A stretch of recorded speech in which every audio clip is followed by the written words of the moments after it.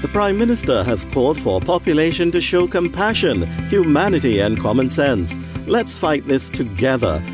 All right, you, it's your boy Certified Sampson here. Let me address the elephant in the room one time. Right? We know that are looking like I dip my head in curry. We know this. We know that I look like one of them sponge that wash away. We know this.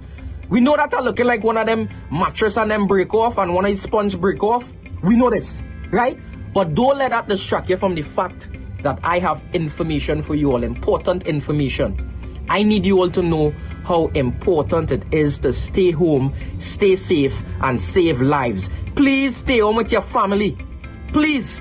Anytime you see anything looking like this around your house, remember me. And remember that I say, stay home, stay safe, and save lives. This was a production of the Ministry of Communications.